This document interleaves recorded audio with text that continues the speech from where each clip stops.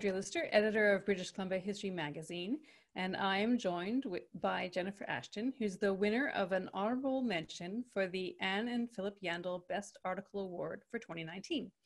The article was selected from 21 articles published in the magazine last year by a panel of nine judges from around the province.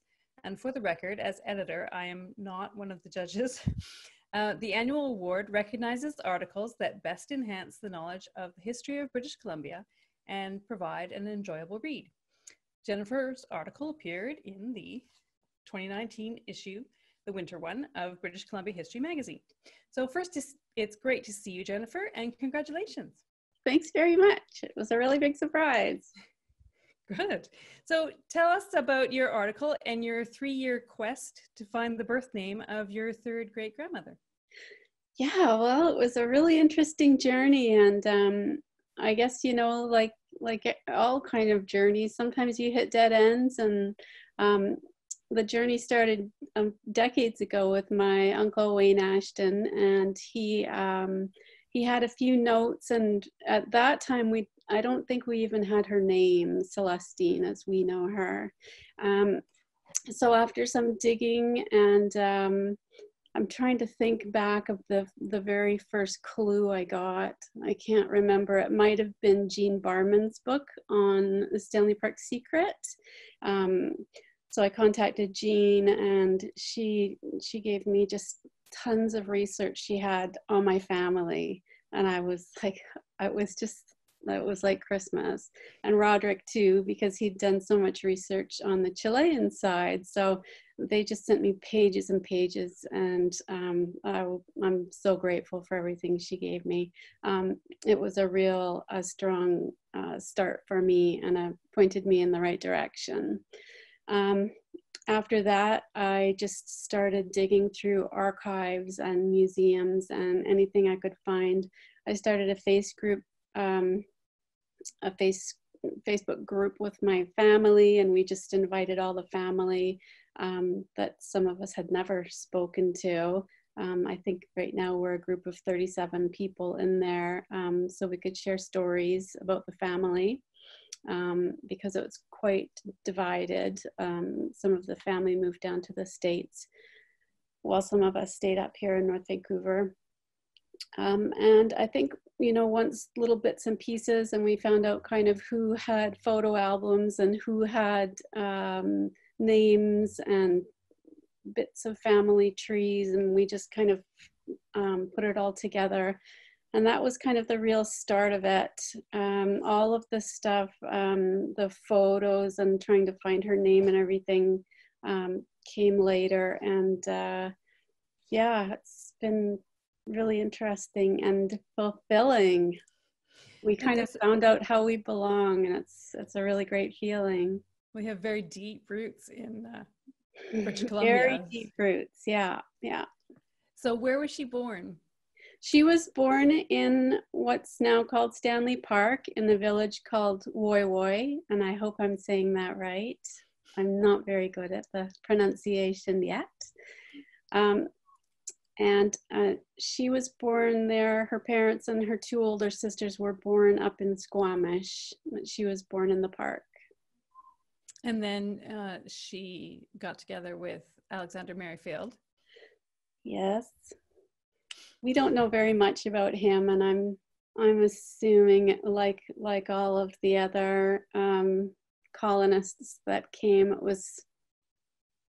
I don't know much about it. I I can only imagine your research finally led you to um, an article and a painting by Mildred Valley Thornton. Yeah, this was, uh, like I said in the article, um, I had just found out about newspapers.com, which of course is the big archive of newspapers from around the world.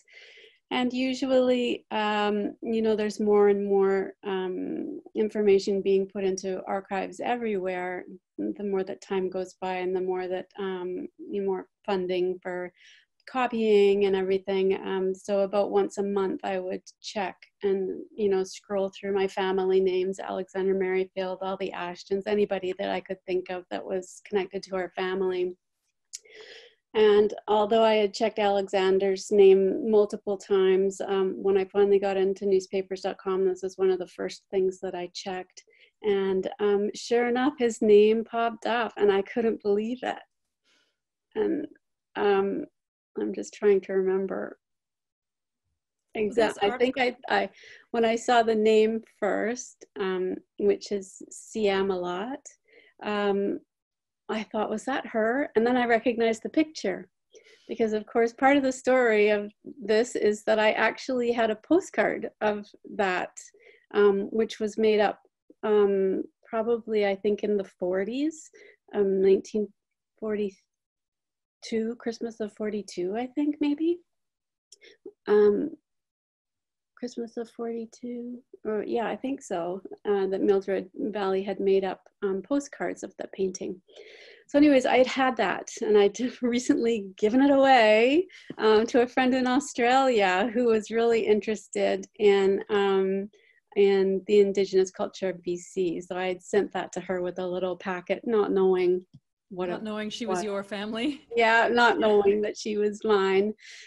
Um, yeah so that was and i couldn't get it back because of a long story the person had passed away down in australia. So um anyways so yeah um, once I started looking again, and then I came across uh, Sheryl Salloum's book, um, where she had um, about Mildred Valley Thornton, the painter, and um, found more information on her and again her name and different spellings of her name.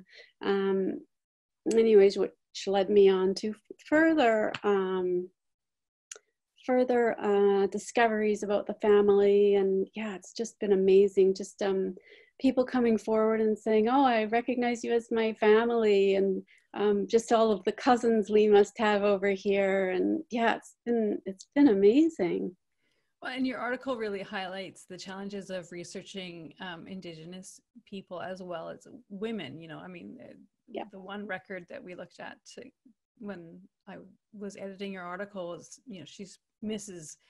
Chief Harry. You know, it's not right. very, uh, not very informative in terms of her as an individual. Yeah, and that was the thing. Like I said, when my uncle Wayne, uh, you know, sent us initially had drawn out by hand, um, kind of a partial family tree. Um, she didn't have a name. Just beside it was uh, unknown name or something, um, and just to even be able to find her name that was lost to us um, for so long. Um, I'm just trying to think we knew her as Mary Celestine first, and then once I um, contacted the uh, Squamish band office and Faye Yelton there, she gave us pages of our family history right back to 1825. Wow. Which was just a miracle uh, that it was in writing. Um, but yeah, you know, searching the archives, there was nothing. And at that time, the indigenous, um, fe- the federal archives were closed to us as well.